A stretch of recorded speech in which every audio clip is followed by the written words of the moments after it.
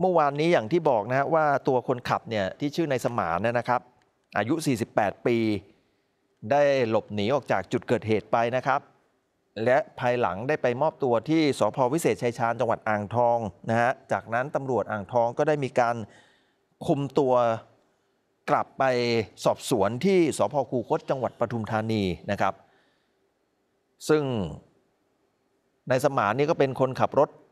คันเกิดเหตุนะฮะ ซึ่งรถคันเกิดเหตุก็เป็นรถของบริษัทชินบุตรทัวร์ซึ่งบริษัทก็มีที่ตั้งอยู่ที่จังหวัดสิงห์บุรีนะครับ เรื่องนี้ครับวันนี้ทางรองผู้บัญชาการตำรวจภูธรภาคหนึ่งพลตำรวจตีชยานนท์มีสติ ได้เดินทางมาสอบปากคำนายสมานคนขับรถนะฮะหลังจากที่เข้ามอบตัว ทางพลตำรวจตีชยานนท์บอกว่านายสมานให้การอ้างว่าได้ขับรถบัสมาเป็นคันที่ 2 ในขบวน โดยใช้ความเร็วประมาณ 70-80 กิโลเมตรต่อชั่วโมง เมื่อมาถึงจุดเกิดเหตุ รถได้เสียหลักคล้ายตกหลุมทำให้ตัวรถมีอาการคล้ายกับยางระเบิด หรือถุงลมแตก โดยรถจะมีลักษณะเป็นโชคที่ถุงลม ขณะขับขี่คล้ายรถจะเอ็นไปทางด้านขวา จนทำให้เกิดการเฉียวชนกับรถเก๋งเบนซ์ซึ่งขณะนั้นตัวเองพยายามที่จะบังคับรถจนรถเนี่ยไปชนเข้ากับแบริเออร์ข้างทาง จนเกิดประกายไฟ โดยหลังเกิดเหตุนายสมานอ้างว่าตัวเองได้วิ่งไปหยิบถังดับเพลิง ที่รถบัสคันหลังในขบวนนะฮะแต่ระหว่างนั้นก็ตกใจต่อเหตุการณ์ที่เกิดขึ้นจึงตัดสินใจ หลบหนีออกจากที่เกิดเหตุ แล้วก็ไปบ้านญาติที่จังหวัดอ่างทองครับ อันนี้คือภาพหลังจากที่เกิดเหตุไฟไหม้รถบัสแล้วนายสมานก็ เหมือนว่าพยายามจะวิ่งไปเปิดประตูฉุกเฉินก็เปิดไม่ออกนะฮะแล้วก็นี่จังหวะที่เขาวิ่งมาหยิบถังดับเพลิงฮะแต่เป็นถังดับเพลิงที่อยู่ ในรถอีกคันหนึ่งนะไม่ใช่รถคันนี้ แล้วก็ลักษณะเหมือนเก้ๆกังๆเนี่ยเปิดสลักก็เปิดไม่ถูกนะฮะสลักของถังดับเพลิงเนี่ยต้องมีการดึงสลักออกก่อนนะฮะแล้วคลิปก็ตัดไปแล้วนายสมานก็หายไปเลยนะครับนี่นะฮะซึ่งพนักงานสอบสวนได้แจ้งข้อกล่าวหากับนายสมาน 4 ข้อหา คือขับรถประมาทหวัดเสียว อันอาจเกิดอันตรายแก่บุคคลหรือทรัพย์สิน ขับรถประมาทเป็นเหตุให้ผู้อื่นถึงแก่ความตาย ขับรถโดยประมาทเป็นเหตุให้ผู้อื่นได้รับอันตรายแก่กายหรือจิตใจ ขับรถในทางก่อให้เกิดความเสียหายแก่บุคคล และไม่หยุดรถให้การช่วยเหลือไม่แสดงตัวไม่แจ้งเหตุต่อเจ้าพนักงาน เป็นเหตุให้บุคคลถึงแก่ความตายนะครับ 4 ข้อหานะครับซึ่งขณะนี้มีประเด็นที่จะต้องสอบสวน พนักงานสอบสวนมีอำนาจควบคุมตัวผู้ต้องหา 48 ชั่วโมง ส่วนจะมีการแจ้งข้อกล่าวหากับเจ้าของรถหรือไม่นั้นอยู่ระหว่าง รอเจ้าหน้าที่พิสูจน์หลักฐานตรวจสอบสภาพรถ รวมถึงถังก๊าซเพื่อพิจารณาแจ้งข้อกล่าวหาเพิ่มเติมต่อไป ตอนนี้ก็ได้แต่แจ้งข้อหาตัวคนขับนะฮะ ส่วนบุคคลอื่นเนี่ยยังไม่ได้แจ้งนะคุณผู้ชมฮะ โดยเฉพาะเจ้าของรถแล้วก็บริษัทที่ให้บริการรถทัศนศึกษาในครั้งนี้เนี่ยนะฮะ หลังประชุมหน่วยงานที่เกี่ยวข้องกรณีเหตุไฟไหม้รถบัส นางสาวแพทองทานนายกรัฐมนตรีเปิดเผยว่ากระทรวงคมนาคมมีมาตรการเยียวยา และการตรวจสอบกฎเกณฑ์ระเบียบขนส่ง จะต้องประสานกับตำรวจ ส่วนกระทรวงสาธารณสุขได้ส่งจิตแพทย์ลงไปในพื้นที่ โดยแบ่งหน้าที่กระจายครอบคลุม ส่วนที่มีข้อเสนออยากให้รถโรงเรียนในไทยใช้รถ เหมือนโรงเรียนในยุโรปนั้น นายกบอกว่าได้พูดคุยกับกระทรวงคมนาคมแล้ว เพราะต้องวางแผน แต่ย้ำว่าการทัศนศึกษาเป็นการเปิดโลกให้กับเด็ก ไม่อยากให้แก้ปัญหาที่ปลายเหตุ ทัศนศึกษาไม่ได้ทำร้ายเด็ก แต่รถที่สภาพไม่พร้อม คือสิ่งที่ทำให้เกิดอุบัติเหตุ ดังนั้นกระทรวงคมนาคมจะวางกฎและระบบให้ชัดเจนมากขึ้น โดยเฉพาะรถโดยสารทางไกลนะครับส่วนที่สำนักงานขนส่งจังหวัดสิงห์บุรี นางอัชรา นิสัยสัตว์ ขนส่งจังหวัดสิงห์บุรี พร้อมหัวหน้าฝ่าย ในขนส่งทุกฝ่ายได้รับคำสั่งด่วนจากกระทรวงคมนาคม ให้ไปประชุมด่วนฮะโดยออกเดินทางตั้งแต่ตีสี่ของวันนี้ คือโดนเรียกตัวไปด่วนเลยนะ ทราบว่ารถคันที่เกิดเหตุนั้นเป็นตัวรถเนี่ยเป็นรถยี่ห้ออีซูซุนะฮะและมีการจดทะเบียนครั้งแรกวันที่ 19 กุมภาพันธ์ 2513 เท่ากับว่ารถคันนี้มีอายุยาวนานถึง 54 ปี ต่อมาได้ติดตั้งเครื่องใหม่เป็นเครื่องยนต์ Mercedes-Benz และจดทะเบียนใหม่อีกครั้ง คือวันที่ 26 ตุลาคม 2561 และการตรวจสภาพรถขนาดใหญ่ เช่นรถบรรทุกรถบัสไม่สามารถตรวจกับตอรออด้านนอกได้ ตรวจได้เฉพาะที่สำนักงานขนส่งเท่านั้น ส่วนที่จอดรถทัวร์ของบริษัทชินบุตรทัวร์ผู้สื่อข่าวรายงานบอกว่าไม่พบรถทัวร์รถบัสคันไหนเลย โดยนะฮะเจ้าของแผงพระที่อยู่ใกล้จุดจอดรถบอกว่า ไม่เห็นรถทัวร์มาจอดตั้งแต่หลายวันมาแล้ว ต่อมาได้สอบถามไปยังนายจิรพัฒน์ชินบุตร ลูกชายของนายทรงวิทย์ชินบุตรที่เป็นผู้ดูแลกิจการชินบุตรทัวร์นะได้บอกว่าคุณพ่อได้เดินทางไปยังสถานที่ตั้งศูนย์เยียวยาผู้ประสบภัยที่กรุงเทพมหานครนะครับ ส่วนรถบัสที่ไปร่วมขบวนทัศนศึกษาเมื่อวานนี้ที่เหลืออีกสองคันนั้น ก็ไม่ได้ให้ข้อมูลนะฮะว่าตอนนี้ไปจอดอยู่ตรงจุดไหนอย่างไรนะครับ ผู้สื่อข่าวบอกว่าเนี่ยนะครับทราบว่าที่โรงเรียนแห่งหนึ่งในพื้นที่อำเภอหนองฉางจังหวัด อุทัยธานีเองก็มีการเคยใช้บริการรถคันดังกล่าวของบริษัทชินบุตรทัวร์ในการเดินทางไปทัศนศึกษาด้วยนะฮะ สอบถามนักเรียนรายหนึ่ง เปิดเผยบอกว่าเนี่ยเคยโดยสารไปทัศนศึกษากับรถคันที่เกิดอุบัติเหตุ และระหว่างทางในการเดินทางนั้นก็มีกลิ่นเหม็นไหม้คล้ายกับไฟช็อต จึงตกใจและได้บอกกับคนขับนะฮะให้มาดูไฟให้ในระหว่างที่กำลังเปิดไฟเทคในรถ เพื่อให้เด็กนั้นได้สนุกสนาน นี่นะอันนี้คือเด็กที่เคยโดยสารรถบัสคันที่เกิดเหตุนะฮะเล่าให้ฟังว่าเคยได้กลิ่นไหม้ด้วยนะฮะและล่าสุดพอทราบข่าวว่ารถคันเดียวกันนี้เกิดอุบัติเหตุ มีคนตายเยอะก็รู้สึกหดหู่นะฮะขณะเดียวกันครับคุณผู้ชมครับโรงเรียนอื่นเนี่ยตอนนี้ก็ทยอยกันยกเลิกการทัศนศึกษาไปก่อนนะครับ อย่างที่อุบลราชธานีฮะ บรรยากาศกิจกรรมการทัศนศึกษาของนักเรียนภายในสวนสัตว์อุบลราชธานีนะครับอ่านี่ผู้สื่อข่าวก็ไปดูนะ คือช่วงนี้เขาบอกว่าเนี่ยเป็นช่วงทัศนศึกษาหลายโรงเรียนเลยนะ บางโรงเรียนก็เนี่ยยกเลิกไป บางโรงเรียนก็ยังมีอยู่นะฮะวันนี้ผู้สื่อข่าวบอกว่าพบว่ายังคงมีเด็กนักเรียนเอ่อที่เดินทางมาทัศนศึกษาตามปกติ แต่จำนวนก็น้อยลงมากกว่าปกติฮะที่สวนสัตว์อุบลราชธานี ผู้ประกอบการรถทัวร์นำเที่ยวคนหนึ่งฮะนายศิลปกรถาศักดิ์บอกว่าหลังจากเกิดเหตุการณ์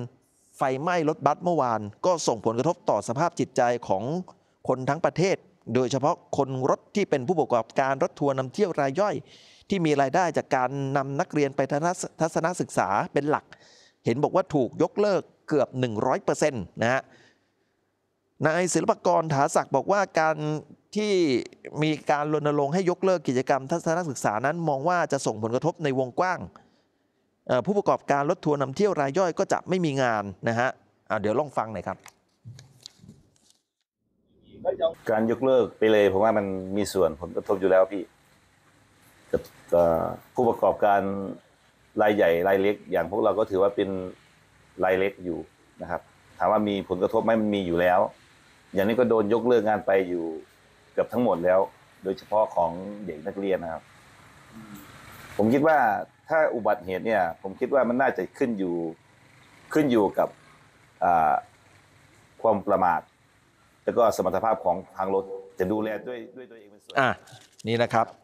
เอ่อเจ้านี้ไม่ได้เกี่ยวกับเหตุการณ์เมื่อวานนะ เพียงแต่ว่าเนี่ยทำเขาเรียกอะไรธุรกิจเหมือนกันนะนักข่าวก็เลยไปสัมภาษณ์ความเห็นนะครับ ก็ใช่ครับเอ่อ วันนี้คุณชิน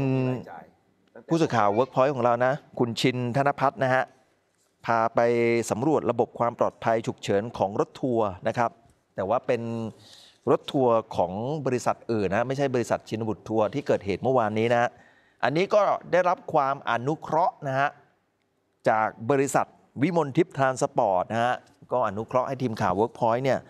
ไปดูหน่อยว่าเนี่ยปกติแล้วรถบัสรถทัวร์ เขาจะมีจุดไหนที่เป็นจุดเนี่ยสำคัญนะฮะในการที่จะมีมาตรการเรื่องความปลอดภัยนะครับ ไม่ว่าจะเป็นค้อนทุบกระจก ไม่ว่าจะเป็นทางออกฉุกเฉิน ทั้งด้านหลังรถ แล้วก็บนหลังคารถเนี่ยก็มีช่องทางออกฉุกเฉิน แล้วก็มีถังดับเพลิงนะครับ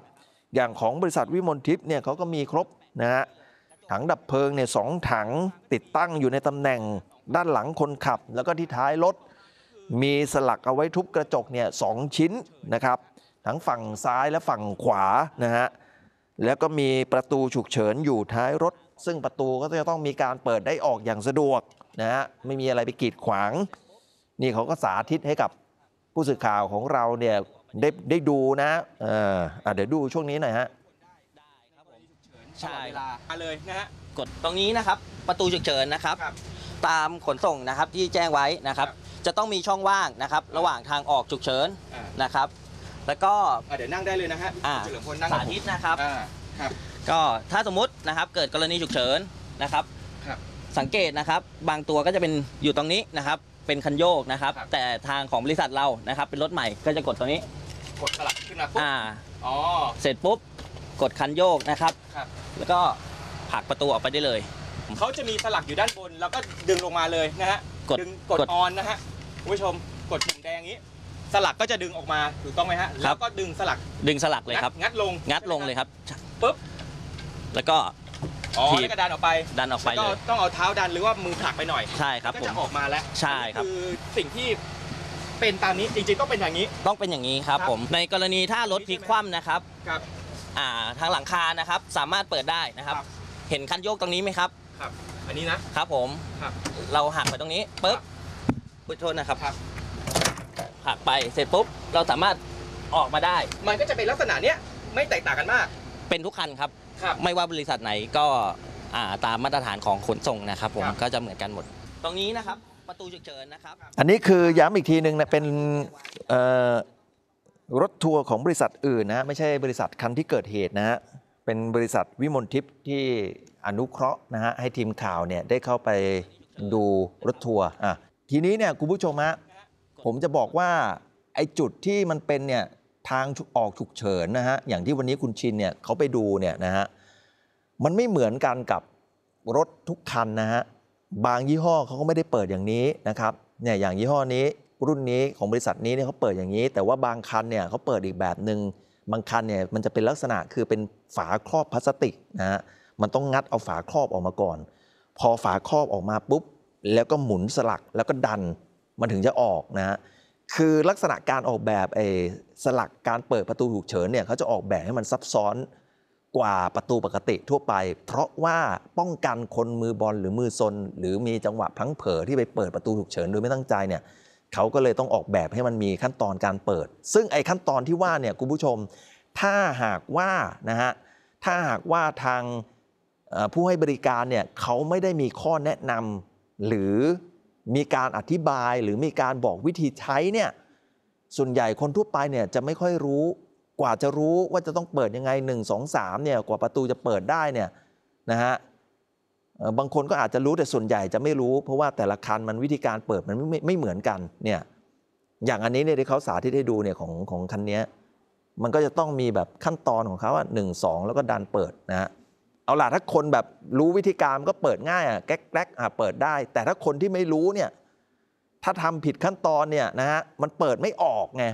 เพราะฉะนั้นเนี่ยสำคัญคือก่อนล้อหมุนก่อนรถออกเนี่ยควรจะมีขั้นตอนการแนะนำเหมือนอย่างกรณีที่เราขึ้นเครื่องบินน่ะแอร์โฮสเตสเขาก็จะมาแนะนำว่าทางออกฉุกเฉินอยู่ตรงไหน วิธีการใช้งานอุปกรณ์ช่วยเหลืออย่างไร หรืออย่างตรงหลังคารถทัวร์รถบัสเนี่ยคุณผู้ชมฮะ หลายคนไม่ทราบมันมีช่องออกได้ กรณีที่รถเนี่ยพลิกตะแคงแล้วเราออกทางข้างรถไม่ได้ หรือกรณีสมมติรถจมน้ำแล้วเราต้องออกทางหลังคาอย่างเงี้ยเนี่ยเนี่ยเนี่ยบางคนอาจจะไม่ทราบว่าเนี่ยหลังคามันเปิดมีช่องออกมาได้เนี่ยนะฮะแล้วไอ้ช่องที่ว่าเนี่ยบางทีเนี่ยมันเป็นตำแหน่งของช่องที่เขาติดเครื่องดูดอากาศ เราต้องดันในเครื่องดูดอากาศเนี่ยขึ้น มันจะมีสลักล็อกอยู่อย่างเงี้ยเพื่อออกทางหลังคานะฮะไอ้แบบเนี้ยนะฮะหลายคนบอกว่าเนี่ยก็ไม่ทราบ เพราะฉะนั้นเนี่ยสำคัญที่สุดคือต้องอธิบายต้องชี้แจงก่อนล้อหมุนก่อนออกเดินทางครับ นี่นะฮะแล้วเนี่ยพอคนขับรถเนี่ยทิ้งรถปุ๊บคนข้างในไม่รู้ว่าจะเปิดยังไงเนี่ยมันก็จบเลยนะฮะว่าจะเอาตัวรอดกันยังไง จะออกกันยังไงนะฮะคนขับรถวิ่งหนีออกมาก่อนแล้วเนี่ยนะฮะ เออแล้วมันก็จะมีวิธีการใช้ค้อนทุบกระจกอีกนะฮะว่าเวลาทุบเนี่ยเขาไม่ทุบตรงกลางกระจกเขาต้องไปทุบตรงมุมของกระจกอย่างเงี้ยเป็นต้นนะครับนี่นะฮะเรื่องพวกนี้สำคัญนะนี่ยังไม่นับรวมเรื่องไอ้สภาพรถอีกคุณผู้ชมฮะสภาพรถที่มีการดัดแปลง แล้วก็มีการใช้แก๊ส NGV คือตอนที่ไปขอ ขออนุญาตติดตั้งแก๊ส NGV เนี่ย ตามข่าวบอกทีแรกแจ้งไป 3 ถัง พอมาเจอตอนหลังเนี่ยเป็น 10 ถังเลยคุณผู้ชม และล่าสุดนะฮะล่าสุดเลยนะ อันนี้คือสภาพของถังแก๊ส NGV นะ นี่นะที่มีทางเจ้าหน้าที่ที่เขาไปตรวจสอบภายหลังเนี่ยเขาแจ้งไปบอกว่าเนี่ยมันอยู่ในตำแหน่งที่ผิดตำแหน่งด้วยนะตำแหน่งที่ไม่เหมาะสมต่อการติดตั้งอะถังแก๊สนะฮะและล่าสุดเนี่ยเขาบอกว่า ทางสำนักงานพิสูจน์หลักฐานของตำรวจ กับกรมการขนส่งทางบก ได้มีการตรวจสภาพ และรายละเอียดที่เกี่ยวข้อง แล้วก็ไปพบว่ารถบัสคันนี้ มีการติดตั้งแก๊ส มีถังแก๊สทั้งหมดเนี่ย11 ถังด้วยคุณผู้ชมไม่ใช่แค่ 10 ถังนะฮะพบว่าเบื้องต้นได้จดทะเบียนถูกต้องเพียง 6 ถัง ส่วนที่เหลืออีก 5 ถังไม่อยู่ในรายการนะฮะไม่อยู่ในรายการ โดยเขาบอกว่าเนี่ยคือขออนุญาตเนี่ยขออนุญาตถูกต้อง 6 ถังที่เหลืออีก 5 ถังไม่อยู่ในรายการนะฮะอันนี้เนี่ยผ่านมาได้อย่างไรเออนะครับ เรื่องนี้ทางตำรวจเขาบอกนะครับว่าหากมีบุคคลหรือบริษัทเกี่ยวข้องมีส่วนในการกระทำความผิดสำนักงานตำรวจแห่งชาติดำเนินคดีอย่างถึงที่สุดนะครับนี่ฮะอันนี้ภาพนี้แหละฮะ อันนี้เนี่ยทีแรกเนี่ยนะฮะเขาบอกมี 10 แต่ตอนนี้เนี่ยเป็น 11 ถังแล้วนะล่าสุดที่เจอนะฮะและดูตำแหน่งที่มีการติดตั้งถังนะฮะด้านหน้าขวา 2 ถังไอ้จุดเนี้ยด้านหน้าขวา 2 ถังเนี่ยเขาบอกเป็นจุดที่ไม่เหมาะสมกับการติดตั้งนะครับ แล้วก็มีด้านหลังขวาอีก มีด้านหลังซ้ายอีก ตอนกลางอีกนะฮะหน้าซ้ายอีกเนี่ยบวกกับ มีผู้ใช้บริการรถคันนี้ก่อนหน้าเกิดเหตุเนี่ยบอกว่าได้กลิ่นเหมือนไม่ไหม้นะครับไม่รู้มันมีการรั่วไหลอะไรเกิดขึ้นหรือไม่นะฮะนี่นะครับประกอบกับพอรถเกิดอุบัติเหตุ มีประกายไฟมีความร้อนเกิดขึ้นทำปฏิกิริยาเกิดเพลิงลุกไหม้อย่างรวดเร็ว นี่นะฮะนี่ก็เป็นอีกเรื่องหนึ่งครับที่ที่จะต้องมีการตรวจสอบกัน